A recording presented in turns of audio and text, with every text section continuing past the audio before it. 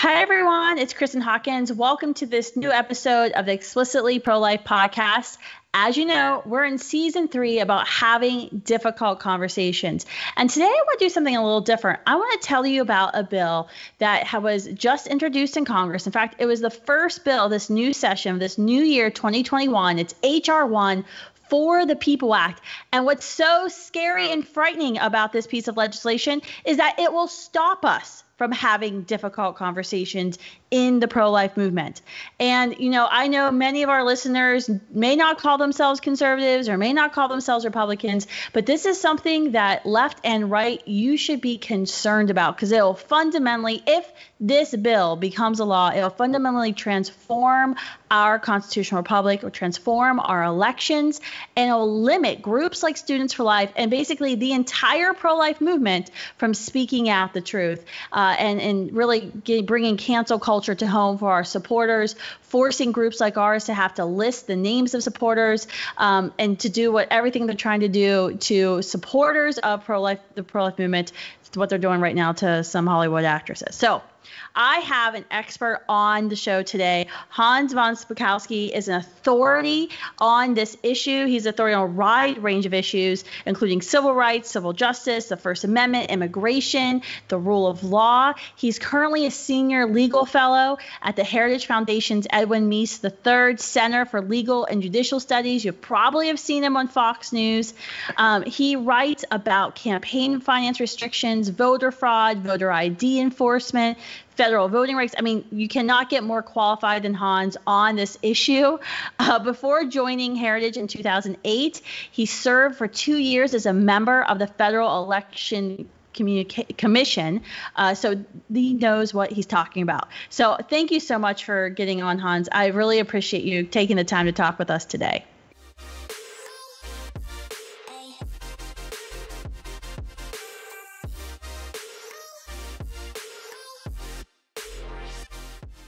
Well, Kristan, thanks for having me on. Yeah, well, I, I wanted to bring this kind of issue to light. I, th- I don't think a lot of people have been focusing on it. And I think, honestly, I think the Democrats don't want people to, to know what's in this bill. Um, but I think the pro life movement particularly needs to be extremely concerned. This is not just like, oh, sometimes I hear in the pro life movement from folks of like, well, we just need to stay in our lane. Let's not talk about these other issues that happen in Washington, D.C. And that's what hurts us. But this bill, if this bill becomes law, it's going to hurt all of us dramatically, you know know, redefine what we can even say as pro lifers. So, can you give us a rundown of what is in this bill, the For the People Act or For the Powerful People Act? Um, what it is, what's in it, and what what is it going to do? Uh, have we got a couple of hours for this, Kristan? this is a monstrosity of a bill. It's uh, 800 pages. And I have to tell you, I've been in Washington now for 20 years. It is the worst bill, and frankly, one of the most dangerous bills I think I've ever mm-hmm. seen uh, in, in, my entire time here. And it's it's very complicated. It covers a lot of areas, but let me just kind of summarize very quickly uh, what it does and why it's so dangerous. First of all, it is a federal takeover of the administration of elections. I, I think folks know that that in this country, states uh, run the election process. They run voter registration and and running polls and election days and everything. This statute would take that over because it, it, uh, it would implement all of these mandates, prohibitions, and bans on the states. Uh, basically, take what happened in the election last year, some of the worst things, and this would implement them into law and then make things even worse. I mean, you just give you a couple of quick examples. Um, Look, a number of states have done the smart thing and have put in voter ID laws. You know, that's just common sense. You should you should have to authenticate your identity when you go to vote. Those laws would be uh, voided and out the window. No state is allowed under this federal bill to enforce a voter ID requirement. Second, look, with absentee ballots, you know, absentee ballots are the most vulnerable ballots to everything from mistakes made by voters so that the ballots are rejected mm-hmm. to potential fraud uh, a lot of states have a witness signature requirement. In other words, you, you have to have a witness who, who uh, can attest that, yeah, it was the voter who filled out the ballot and signed it. Witness signature requirements out the window. No state would be allowed to enforce a witness signature requirement. there's also uh, all these um, restrictions put in to make it as difficult as possible for states to clean up their voter rolls, to maintain the accuracy of their rolls, to find out, for example, if individuals have moved to other states and registered there. That's very important because you don't want people, for example, registering in two different states and illegally casting votes in two different states, which unfortunately does happen. Uh, there's a whole series of other requirements, all of which are, are, are really bad. But then the bill goes into all of these changes in federal campaign finance laws. Now, people listening to this are going to say, well, that doesn't affect me. But in fact, it does. and there's a couple of reasons for this. Uh, first of all, remember, nonprofit organizations, particularly the pro life area, what is it that you do? You do grassroots work particularly when there are bills in Congress that, that affect abortion. Mm-hmm. Well, that kind of activity, that's not campaign activity. You know, when, when you are urging people, for example, to call a particular senator or a particular member of the House to vote for or against a bill that affects abortion, that you're, you're not running a campaign. But under a new definition in this law, if you name a federal candidate or a federal elected official in a communication, that is now a campaign related expense. And what that means is that uh, the nonprofit that's doing that is now suddenly subject to all of the disclosure and filing requirements of the Federal Election Commission that normally applies simply to candidates and political action committees, mm. which is onerous and burdensome. And smaller organizations who don't have the money to hire an expensive Washington lawyer to take care of their FEC compliance work, they're not going to be able to comply with that. Uh, furthermore, it has all these requirements for the nonprofits to disclose their donors. And you, we all know why that is. The whole reason for that is because they want the ability for those names to be out there so that those people can be harassed and intimidated, and so they won't contribute to the organizations they don't like. Uh, finally, uh, remember what Lois Lerner of the IRS was doing? Remember, mm-hmm. during the Obama administration, um, she was refusing to grant tax exempt status to mm-hmm. conservative mm-hmm. organizations or delaying it because she didn't like the political uh, policy positions they were taking, mm-hmm. particularly when they were doing things like opposing uh, Obamacare. This law makes that legal.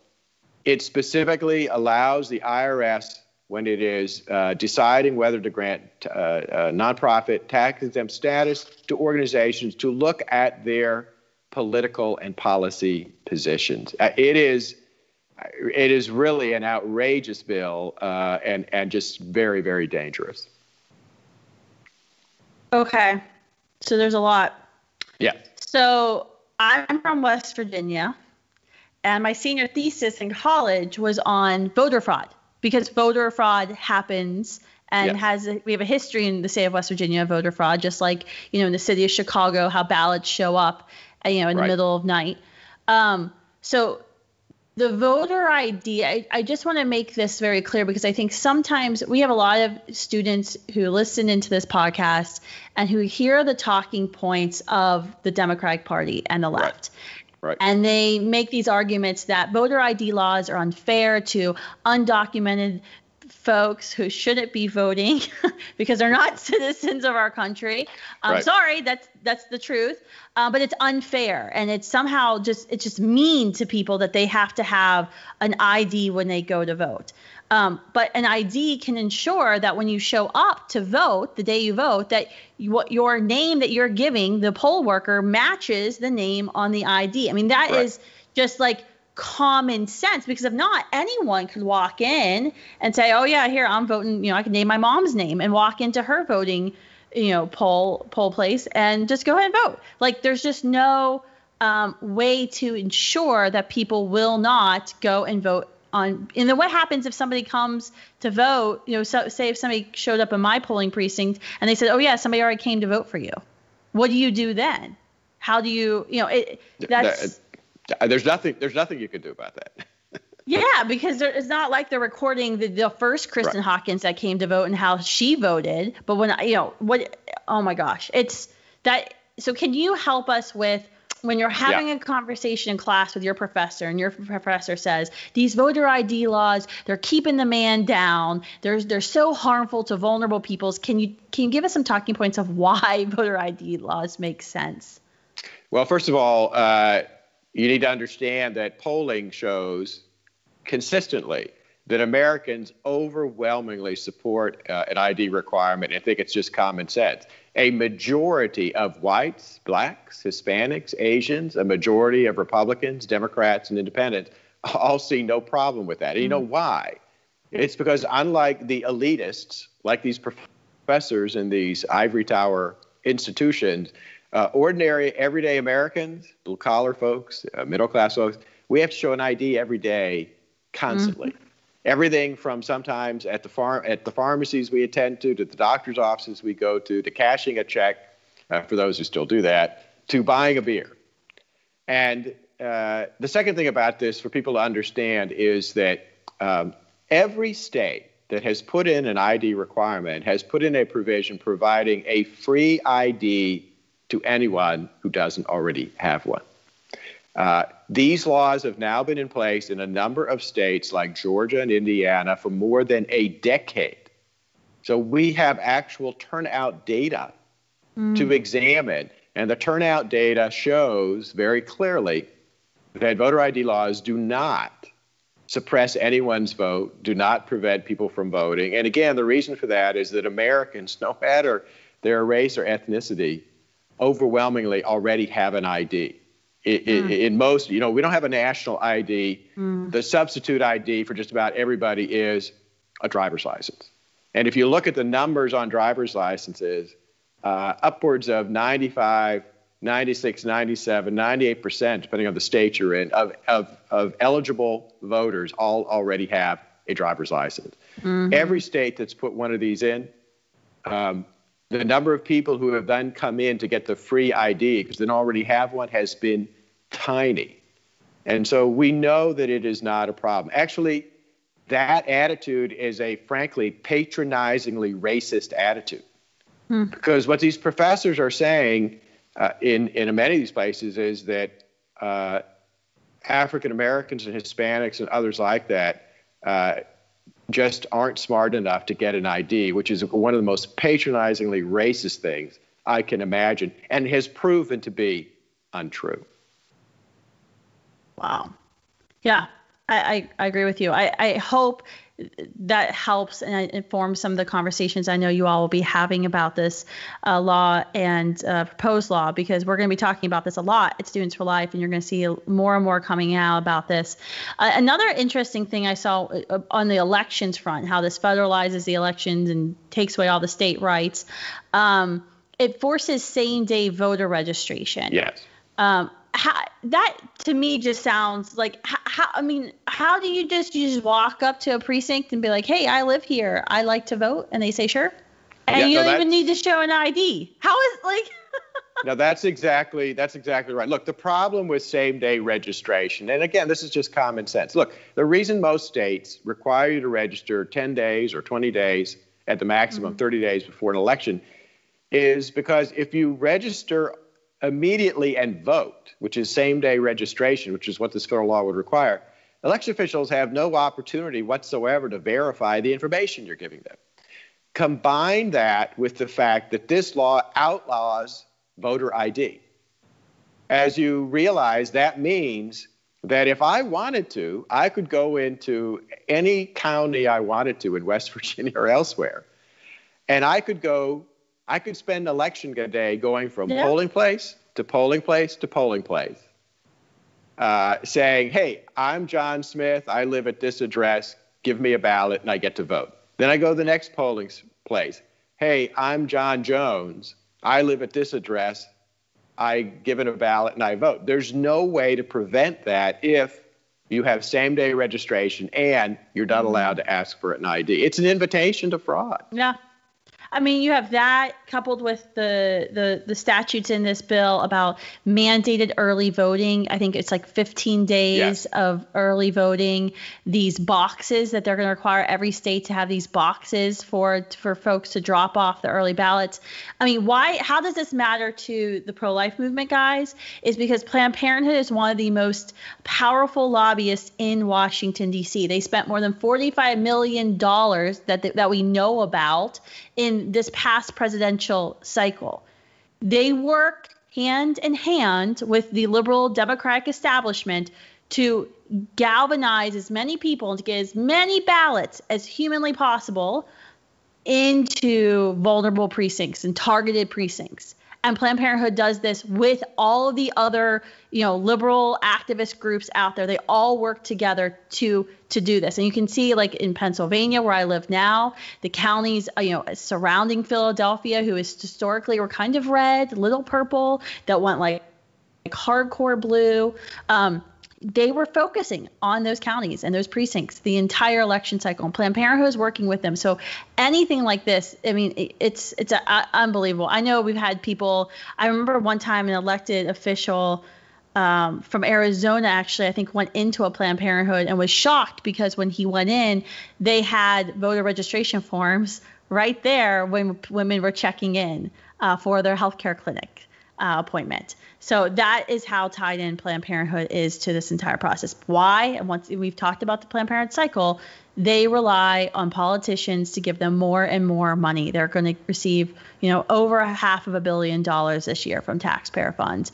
And the more politicians they elect, the more uh, leadership roles uh, that their, you know, champions hold, the more money Planned Parenthood gets. And we all know the more money Planned Parenthood gets, the more babies they kill. So this that is the cycle for you and why you should care about this law and what it does just with our elections. Now, let's go to some of the outrageous things you brought up about nonprofits and how we can if if HR 1 the For the Powerful People Act passes what it will do to groups like Students for Life. So, if you're an independent just human being and you know you call your elected official are you going to still be able to do that? Because they're trying to make it more difficult. It sounds like they just don't want anyone to know what they're doing and call them, you know, on what they're doing. Are you going to have to register as a lobbyist if you're just just an ordinary citizen? No, but remember the whole purpose of nonprofit organizations, nonprofit associations like Students for Life, is uh, look if you're a multi multi millionaire like Mr. Zuckerberg uh, you can spend a heck of a lot of money trying to influence members of Congress mm-hmm. to vote a particular way. If you're an ordinary person like you and me, you know, we don't have the money to do that individually. The whole point of associations, member associations, is by joining together mm-hmm. in an organization that shares your view, you are multiplying your voice. It's a way for ordinary folks like us to join an association that will push the views we have on issues, particularly in this case on, on mm-hmm. abortion. Uh, and this bill is aimed at nonprofit associations like Students for Life to make it much more difficult for them to uh, engage in this because they're now going to say that the kind of activity you're engaging in that's actually campaign activity and therefore we can regulate it. Mm and, and starting a PAC is not like you're right. It's not an easy thing. We have a 501c3 at Students for Life. We have a 501c4 Students for Life Action, and we're going to be launching a PAC this year. But it it's going to take money, time. Got to have a couple of different attorneys working with us on the different PACs. I mean, it's not. I mean, we're and we're a 15 year organ 15 year old organization, and I've delayed it right. this long because it's so cumbersome and the reporting and and all of the staff time that takes that takes to get do that. So it's going to limit all of our organizations to be able to speak out. Um, and I thought that was interesting. If you just mention an elected official's name, it automatically right. becomes a campaign.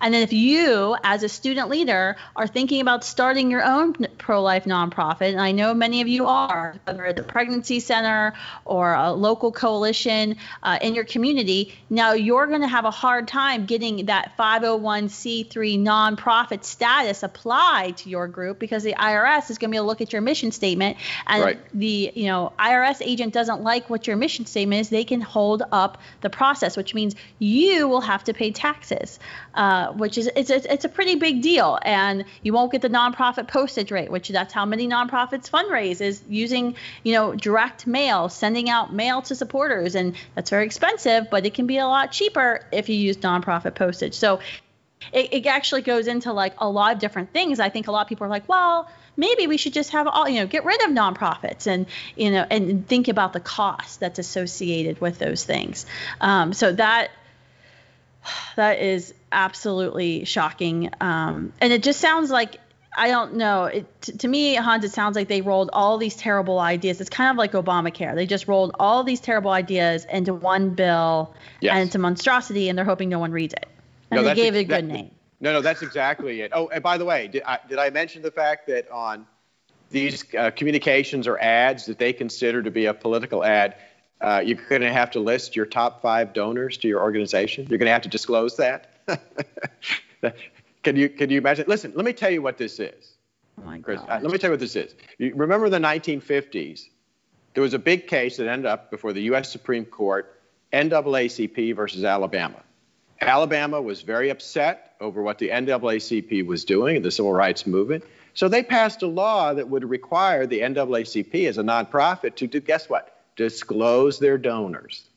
Now, the whole reason for that was that if the donors were disclosed, then uh, those donors could be harassed, they could be mm-hmm. intimidated, mm-hmm. they, they hopefully would quit giving to the NAACP. NAACP sued, went all the way to the U.S. Supreme Court. The U.S. Supreme Court said, you can't do that. It violates the right of association and, mm-hmm. and the mm-hmm. First Amendment.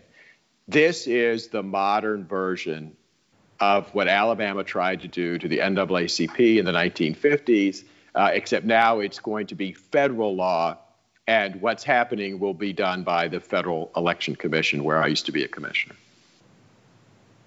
That's absolutely unbelievable. I mean, we saw this a couple years ago with Prop 8 in California. So it was yes. the gay marriage ban right. when suddenly all these donors got disclosed. I remember uh, I still I just recently stopped using Firefox, uh, and everyone on my staff told me I had to stop using Firefox and switch to Google Chrome, and I am.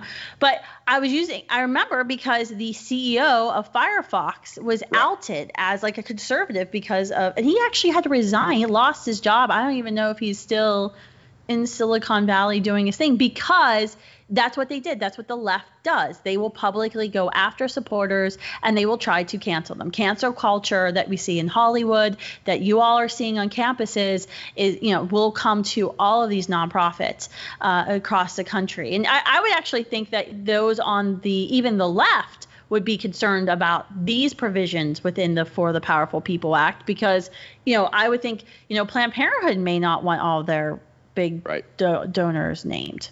No, no. In fact, um, if you I don't know if you recall this, but uh, talk about Proposition 8 in California. Listen, a left-wing group actually took the official disclosure records from the state government and created an app and put it up on the internet. An app that you could look up the donors who were they believed were on the wrong side of that issue, uh, and it would create a map so that you could get to their house. The whole purpose of that was clearly so that uh, those people would uh, have their homes vandalized. Uh, that actually happened. Uh, they, they were vandalized, people had their cars uh, damaged, and graffiti was drawn. And the whole point of that was to use that disclosure information to go after individuals who they said were uh, against gay marriage on the Proposition 8 uh, uh, referendum. And didn't that recently just happen in California where there was a case and they just disclosed a bunch of donors by accident? It was it was something where like yes. and yes, the uh, does that uh, involve the, somebody in the federal government today? uh, in fact, that case is now up before the U.S. Supreme Court because of the fact that California, their uh, state AG's office requires the disclosure of donors to the AG, and they then, uh, as you said, accidentally disclosed them to the public, except they've done it on multiple occasions. You know, once or mm-hmm. twice you might think it's an accident, but when it starts happening numerous times, uh, you get the feeling that somebody inside the bureaucracy is probably doing that deliberately. So is this when Kamala Harris was Attorney General or Xavier Becerra, who's being nominated for HHS Secretary, was Attorney uh, General? Uh, Kamala Harris started oh, this, great. and it continued oh, under Becerra. Yeah. So just just just connecting the dots for everybody here, so they can see the dots. All right. So I guess the question is everyone's hopefully as outraged as I am and equally concerned.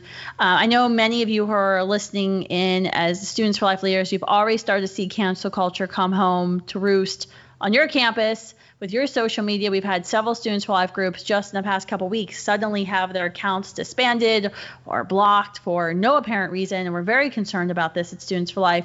Um, but what can folks do now? So this bill hasn't been passed yet. It passed right. in the last Congress, but thanks to then the Senate Majority Leader Mitch McConnell, uh, he kind of I think laughed it off stage and didn't have a shot. Now the Democrats, the pro-abortion Democrats, control the U.S. Senate, uh, and I've, has have they committed to voting on this when it passes the House? I'm sure they uh, have. I, am sure they ha- they they will because in fact uh, Chuck Schumer has introduced the Senate version of this bill. It's S1. So it's HR one on the House side and it's S one okay. on the Senate side. The key to stopping this is going to be maintaining the filibuster in the Senate so okay. that uh, Republicans can filibuster the bill. Uh, and also, it's going to be a matter of folks trying to call and persuade, frankly, Democratic senators who perhaps uh, got elected in states that were run by, run by Republicans, like Donald Trump, and mm-hmm. Uh, uh, talk to them to say, really, you really shouldn't be. Look, no matter what you think about what the election law should be, uh, you shouldn't be voting for a bill that's going to take that power away from our state government, our mm. state legislature, to decide what those rules should be in our state. That that is really the message on uh, on the election side of this.